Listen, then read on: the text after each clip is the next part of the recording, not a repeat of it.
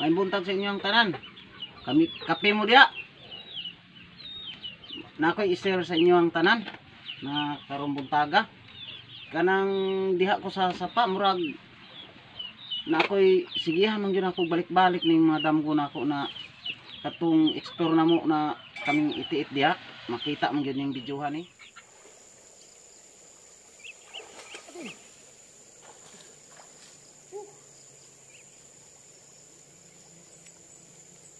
Tambalan natin eh bro, subukan natin.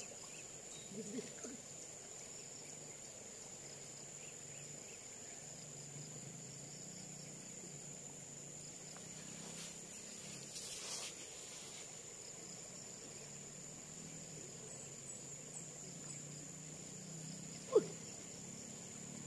Kaya mo bro, kaya mo bro, laban ka. Laban ka bro. Gagabuti ka namin bro para maging normal na yung dugo.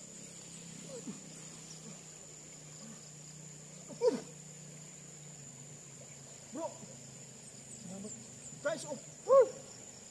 Yes, bro.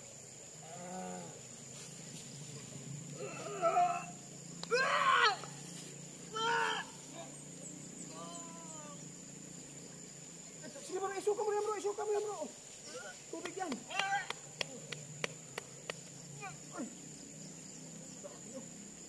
Sumuka guys. Mga pokon.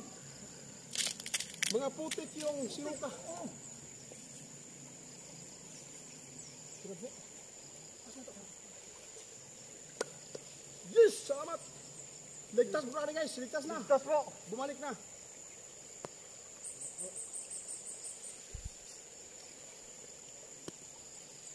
Ayaw nyo, liyaw ka ang cellphone dong ha. Ayaw, liyaw ka. Kaya panitasan natin bulare, baka nalin lang po tayo. Hindi tayo magpapalin lang ngayon.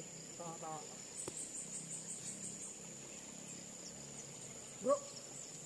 Asan yung rescuer bro?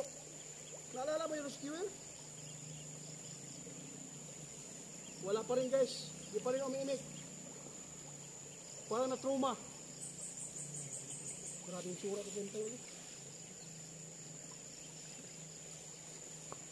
Tara, tara po. Ate mana po kayo. Kaibigan,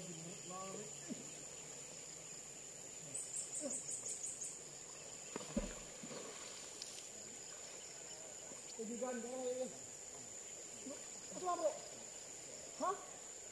Guys, may science bulari guys. Pa ano ibig sabihin niyan bro?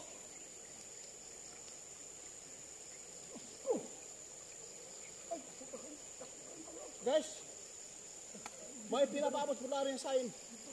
Malaki yung butas dito. Ang tirahan daw, nasa loob. Nasa loob, nasa loob bro.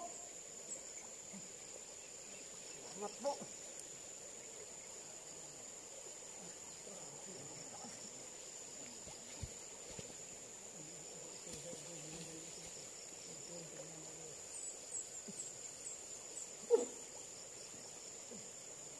Balik ko bro. Bantay lang. sukad na naluwas ko nila itiit og ni Bro Ramil. Nagbalik-balik akong damgo. Unsa ka ning kuana oy nag sige na mo ko balik-balik anang damgo anang sapa manudlo ko diha. Murag akong damgo na ako'y nadamguhan na naa sila sa sapa na gituklo na ko sila itiit at saka si Ramil. Unsa ka ni mao na problema ani? Nadamgo ngano mo balik-balik ma akong nauna anang pagkaluwas na ako anang tungura? Na bisag diha to.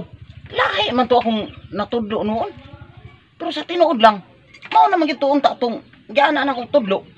Pero dili man daw to maupagyapon. Napag dinto nga anay na sa akong damgo na nakita na ako dito na padung man gito sa gikan sa sapa padung sa ibabaw.